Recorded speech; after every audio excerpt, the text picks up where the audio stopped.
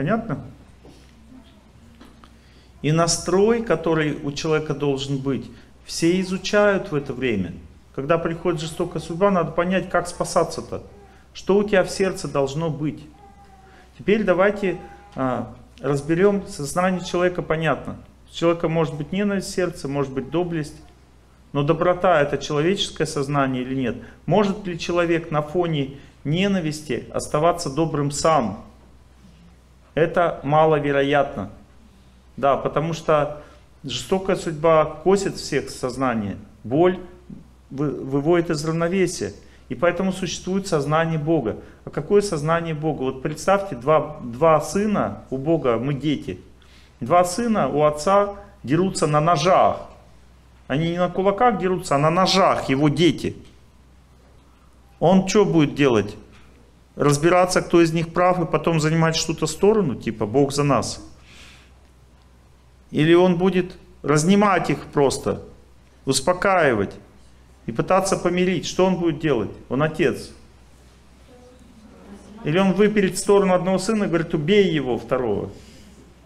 Он отец. Он одинаково любит обоих своих сыновей. Так вот, запомните, сознание Бога – это всегда доброта. Запомните это. И если вы хотите спасения в этом мире, запомните, даже воин – который хочет быть, хочет быть, остаться жив, он идет всегда путем любви. Путем ненависти, путь ненависти приводит к смерти. Путь доказательств своей правоты приводит к смерти. Когда в семье люди доказывают свою правоту, женщина свою, мужчина свою, это разрушает семью всегда. Путь ненависти разрушает еще быстрее. Когда они а, идет, идут путем доброты, пытаются понять друг друга, принять, а, любить. Этот путь спасает семью. Даже при жестокой судьбе, когда муж даже изменил. Его нельзя сразу принимать. Надо жить отдельно, ставить условия. Если он раскаялся, ты молилась за это, ты его возвращаешь. Значит, ты сдала свой экзамен. Еще раз повторяю, судьба предназначена только для одного. Нас она учит. И жестокая судьба учит очень жестко, без компромиссов, без сентиментов, учит нас. И если человек выбирает правильный путь в жизни, потом, когда в его страну вихрь приходит, а в вашу страну он, может быть, и не придет, но коснется обязательно через полтора года, не сейчас.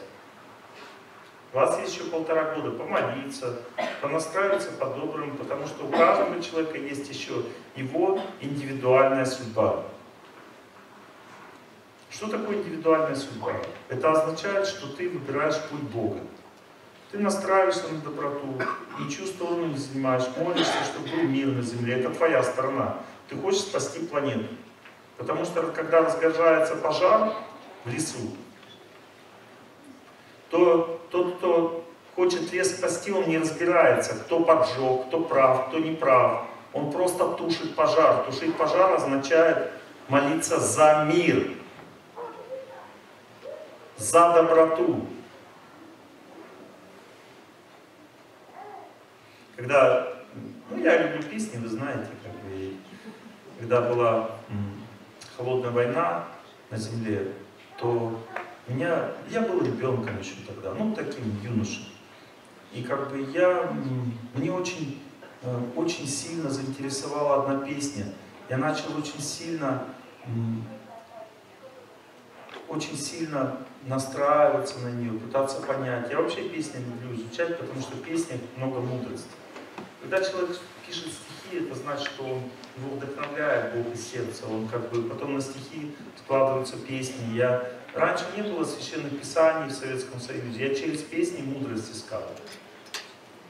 Мне всегда хотелось мудрости. И вот одна песня, она меня очень сильно удивила.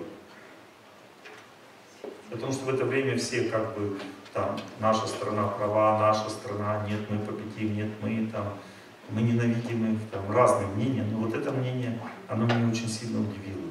Я начал изучать, думаю, это интересно. Сознание Бога. Человек, когда приходит боль, не может быть добрым сам. Но если он помнит о святости, если он молится, если он думает о Боге, то он обретает не свое состояние, не свое, а сознание Бога обретает. И это сознание Бога, оно очень сложно. Когда Иисус Христос пришел, апостол говорит, ну, говорит, э, когда очень сильно обижают, до семи раз прощать человека. Иисус Христос говорит, до семи ж до семи прощать. Прощать означает оставаться добрым, не значит не наказывать. Иногда надо наказывать. И сердце надо быть добрым. Когда прокурор объявляет человеку 6 лет лишения свободы, он должен на него смотреть добрыми глазами. Когда человек с легким сердцем пойдет отбывать наказание. А если там злорадство или жестокость, тогда он будет очень обижен. Даже если он совершил грех. Я его совершил, как бы это моя проблема. Ну ты-то что вот так себя ведешь? Неужели ты не можешь этот грех совершить? Неужели ты на моем месте не окажешься? И как бы ты хотел, чтобы с тобой в это время обращались? Если тебя плетью бьют, вот по-доброму, добрым сердцем должен палач себя вести. Или он должен жестоко на тебя смотреть. Как тебе будет меньше больно? Поэтому сознание Бога это сознание доброты.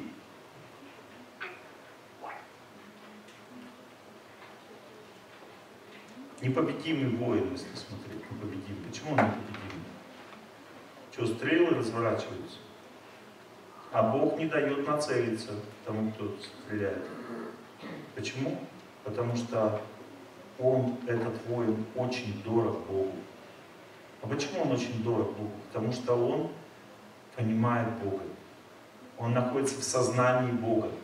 У него в сердце доброта ко всем. И он просто выполняет свой долг. И поэтому он непобедимый, что Богу очень нравится. И потому что он уже сдал свой экзамен. Потому что жестокая судьба не для того, чтобы нас покосить, а для того, чтобы мы сдали свой экзамен. И сдача экзамена означает доброта. В ведах написано, что если человек смог во время трудностей судьбы войти в состояние спокойное и доброе, а невозможно быть спокойным и добрым, если ты не добрый, ты обязательно попадешь под влияние, тебя накроет, когда жестокая судьба действует, то тогда в это время включается разум, и человек может понять истину. В возбужденном состоянии, в состоянии боли, отчаяния, обиды, чувства справедливости, невозможно понять истину. Истину можно понять только когда в сердце спокойствие. Поэтому человек всегда должен стремиться к спокойствию. Даже в бою надо стремиться к спокойствию. Теперь сразу возникает вопрос, что может человека успокоить? Что может сделать человека непобедимым? Что спасет, когда приходит жестокая судьба? Любовь. Да, любовь или доброта.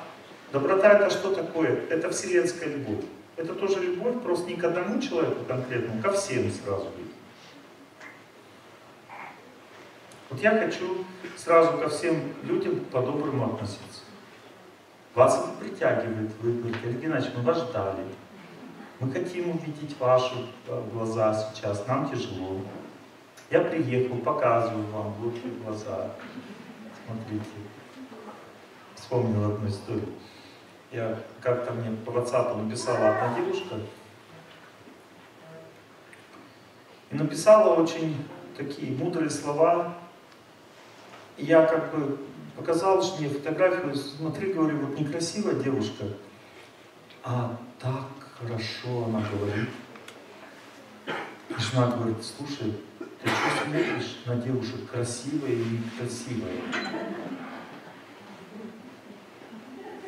Я даже не подумал об этом ничего. Я смотрю действительно. Она говорит, вот сюда смотри, на всю жизнь хватит. Показывай свое лицо. Моя жена так себя Я когда ее встречаю, я такой, она смеется. Смешно?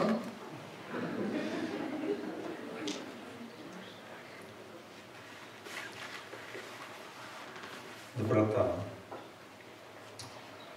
Как спасает человека от смерти вот это состояние любви? Давайте изучать будем. Как можно спастись, когда жестокая судьба приходит? Вам придется выбрать какое-то состояние. Настройка спасает человека, настройка. Надо заранее уже готовиться к этой настройке. К чему вы будете себя готовить?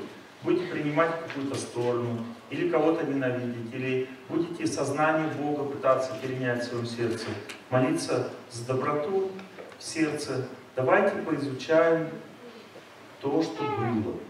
Давайте поизучаем сознание людей, которые спаслись, как они настроены. Давайте поизучаем через па, значит человек спокоен. Спокоен, значит включается разум. Он может понять, что делать в этой ситуации. Он чувствует судьбу. Когда человек спокоен, он чувствует, он говорит, вот она надо мной сейчас кружится, смерть. Когда воин непобедимый, он чувствует смерть. Стрела летит, он раз даже не смотрит, поставил щит. Чувствует смерть, оттуда летит. Оп, оттуда пошла. Оп. Почему? Он спокоен и добр. Это называется сознание Бога. Все, спасибо, все нормально. Все. Ну, я понял, что надо мешать здесь. Вот. Понимаете, да? Доброта. Сложная тема для понимания, очень сложная.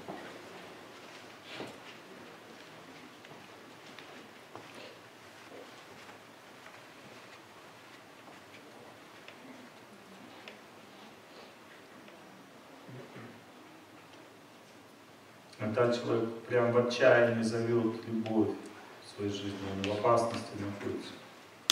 Он зовет любовь.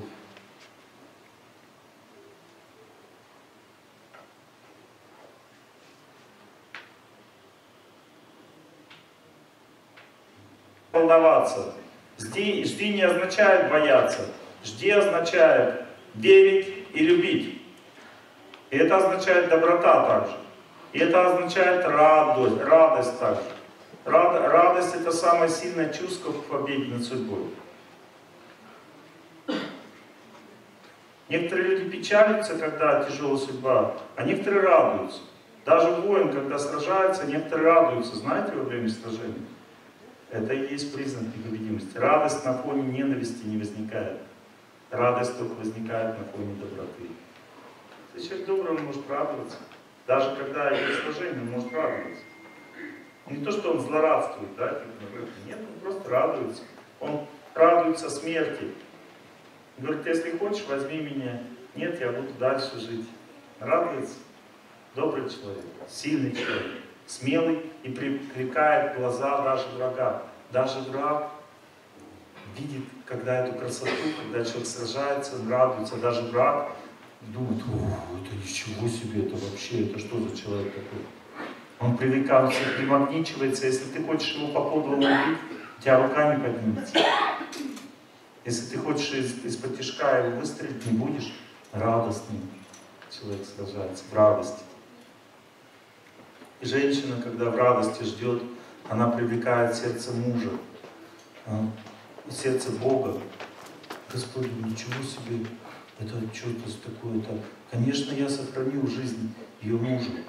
Она в радости живет, несмотря на то, что он сейчас должен погибнуть. Жена, кстати, чувствует, когда муж может погибнуть или нет? Какие варианты ее поведения? Первый – страх, значит погибнет.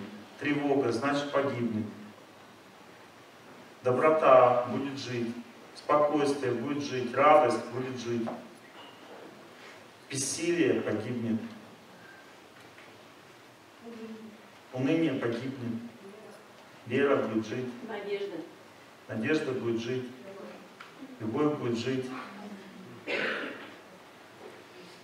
Но самое сильное чувство, которое дает жизнь, это радость. Запомните. Радость добрая. Это уже высшее проявление смелости человека. Радостно мне. Я спокоен в смертельном бою. Радостно мне. Знаю, встретишь с любовью с меня, чтобы со мной не случилось радостными. Мы говорим о настроении обязательно про войну, да? Вот идет жестокая судьба. Настраивайся, люби всех, радуйся людям, помогай беде. Находится в состоянии жестокой судьбы. Ваша жизнь ваших руках или в руках Земли? А если ядерная война начнется, в ваших руках или нет? В ваших руках. Но думать надо сейчас. Надо сейчас начинать свою молитву о мире. Сейчас начать по-доброму настроиться, всех прощать, просить прощения, не увлекаться в настроение жестокости, не пытаться добиваться своей справедливости ни перед кем, просто учиться доброте. Сейчас вы сдаете экзамен. И даже если начнется совсем хаос, я не думаю, что начнется, я не чувствую так. Но даже если, то вы не будете там, где это будет. Вас Бог оттуда уведет из этого места. Потому что вы сдали свой экзамен. Вы не обязаны страдать. Я видел это много примеров. Сейчас, когда это происходит. Когда в Мариуполе началась война, я уже тогда особо надежды не тел, не тешил ни на что. У меня там было 30 человек слушателей моих лекций. Я им сказал, немедленно уезжайте из города. Потому что когда вы попадаете в зону там конфликта, то там не действует судьба, там действует здравый смысл человека. Если он не, не должен воевать непосредственно, если он не помогает этому процессу, то тогда у него нет там никаких обязанностей. У него только есть одна обязанность – уехать из этого места. Потому что если ты этого не делаешь, значит ты упрямый человек, ты не понимаешь, что там в этом месте судьба не действует. Когда наводнение идет, надо убегать. Конечно, камешек может накрыть норку твою, и ты останешься там в норке жив, потом вода сойдет, тебе воздух ухватит, ты выживешь. Такое бывает, но очень редко. В основном всех заливает. Приведу, много сейчас буду приводить вам примеры. Одна девушка молилась в Донецке, летали снаряды, все ушли в бомбоубежище. Она думает, я верю в Бога, я слушаю голос святого человека, я молюсь, я настраиваюсь на память о Боге, Бог не даст меня в беде, никуда не пойду. Сидела в своей квартире, летали снаряды, все в бомбоубежище, она никуда не идет, молится. Свистят снаряды, взрывы идут вокруг. Вдруг резко у ней сократился мочевой пузырь, очень сильный такой спазм. И она побежала в туалет. Захотелось в туалет, резко очень произошло. Никогда так не было. Она побежала в туалет, закрыла дверь в туалете, в это время взрыв сильный. Она выходит из туалета и видит то место, где она сидела, все перекорежено. То есть Бог ее спас. Теперь она села дальше молиться в сердце. А теперь боли Богу убежище.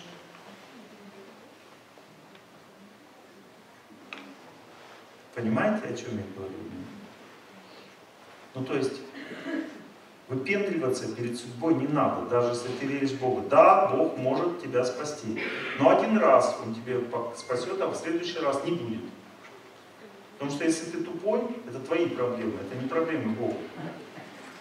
То есть, если приходит жестокая судьба, из этого места надо уходить. Спасаться из этого места. Это то, что должен делать нормальный человек. Если это не твое дело, там, если твое, оставайся, не твое, уходи. Когда солдат уходит, называется трусость.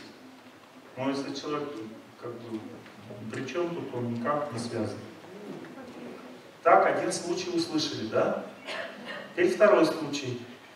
Я им говорю в Мариуполе, уезжайте немедленно. Иначе вы все погибнете. Они говорят, Олег Геннадьевич, у нас здесь ничего не будет, все нормально. Когда приходит смерть, она всех успокаивает. Ребята сорвутся бомбы, у них все нормально. У них спокойно, говорят, у нас спокойно в душе, мы чувствуем себя хорошо. Говорят, а спокойствие идет, а не от того, что у вас все будет хорошо. Это смерть вам принесла, это спокойствие, смерть принесла. Она тоже всем делает спокойно. Они меня не услышали. Они собрались в одном доме, все начали молиться. Каждый день все живут вместе. В центр города уехали по окраинам. Город окружили со всех сторон. Ну то есть война теперь идет везде. Я начал молиться. Мы, у нас была совместная молитва, у нас сейчас проходят молитвы за мир. А, все со всего мира, со всех сторон, все вместе в зуме. И украинцы, и русские, белорусы, и американцы, и европейцы, все молятся за мир, все вместе. Мы в одном месте собираемся и все молимся вместе. Вот. Слушатели моих лекций. Я начал молиться за их жизни. Я думаю, Господь, спаси, дай, сохрани им жизнь. Я уже увидел, кого убьют конкретно, все, я уже точно видел. Это было очень печально смотреть. Я начал в добротой сердца молиться за, за их жизнь.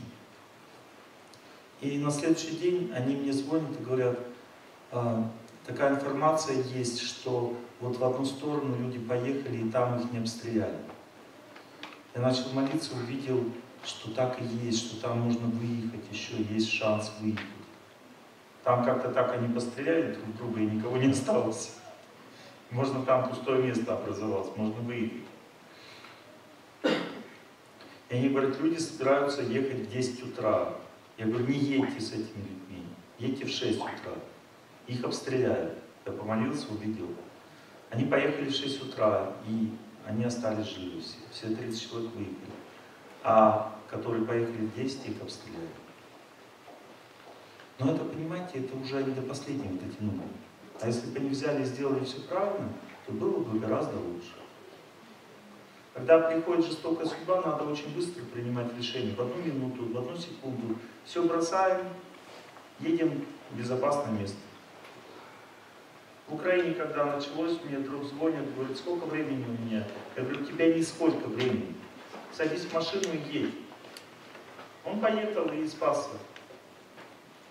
Все оставил, все бросил, дом. Что ты с этим домом сделаешь? Его все равно разбомбят. Что ты его, как если ты будешь жить в этом доме, снаряд туда не прилетит, что ли? Ты не защитишь свой дом, все.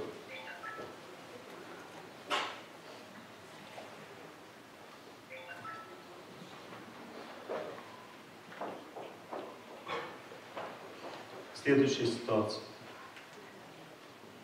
Шесть лет назад ко мне подошел мой друг и говорит, я, я вообще родился в Донецке, и я хочу туда ехать, кормить людей освященной пищей, там люди с голоду умирают. Скажи мне, что меня ждет? Я начал молиться и говорю, ты там погибнешь, не надо ехать. Он помолился тоже, говорит, Бог меня зовет, я поеду. Он поехал, несколько месяцев назад снаряд прилетел в его офис, и он погиб. Я дальше начал смотреть, э, что дальше происходит.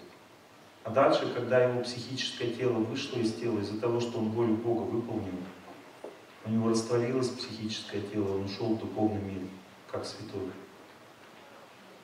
Как безгрешный святой ушел в духовный мир. Я вот просто обалдел. Я такой только пару раз в жизни видел, когда святые уходят. Тут просто обычный мой друг, ушел в духовную реальность, просто потому что он сделал так, как Бог хочет. Но это, мои дорогие друзья, не надо имитировать. Потом так Бог его выбрал, Он дал ему миссию людей спасать, помогать кормить зоне боевых действий. Но иногда люди выпендриваются, туда едут. Например, у меня был другой случай.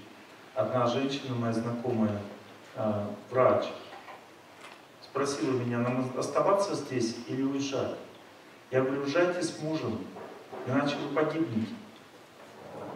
Она сказала своему мужу, но он не слушал моих лекций.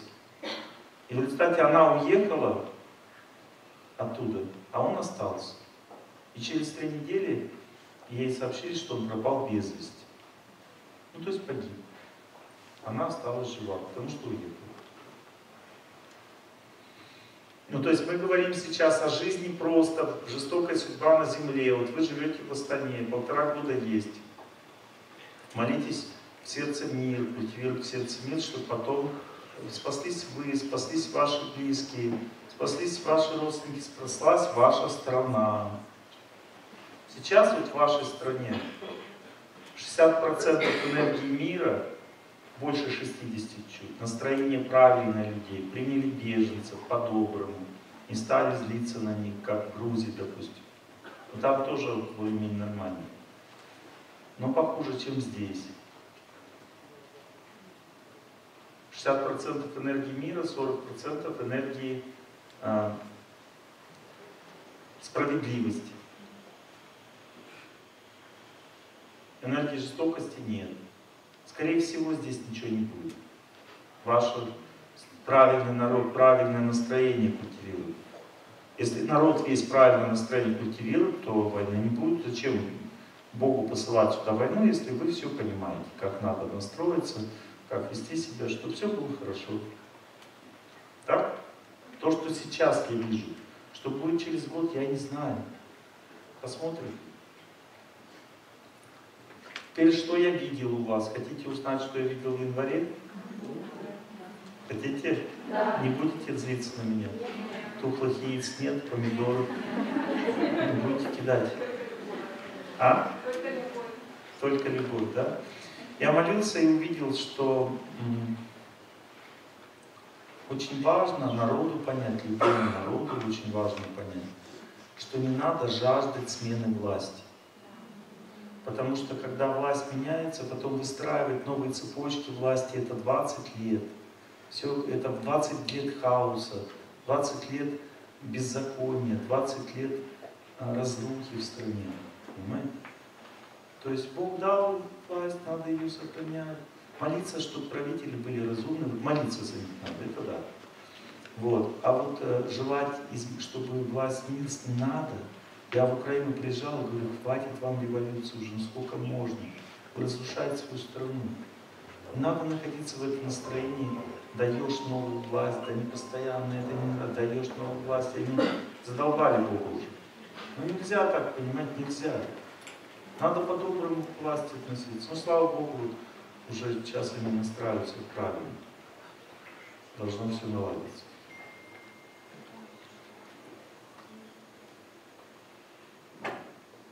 Из-за того, что люди не понимали, это Бог чуть-чуть получил. На 7-8 дней власти не стало в стране. Вы увидели, что произошло. Как людей убивали, просто как грабили, как насиловали, все увидели, все поняли. Теперь уже желаний таких нет, правильно? Все? Отлично. Я очень рад. Бог чуть-чуть намекнул, пока чуть-чуть вам показал. Так, чуть-чуть.